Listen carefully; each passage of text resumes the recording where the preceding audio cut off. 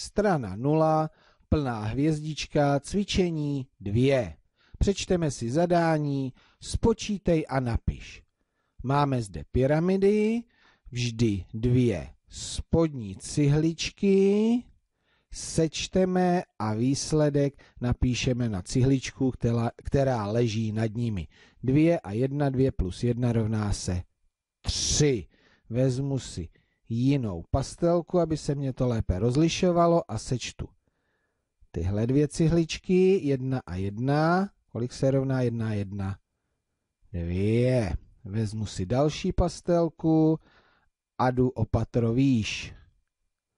Tyhle dvě cihličky, 3 a 2 rovná se 5. To byla malá pyramida. Vy sami zkusíte tu velkou.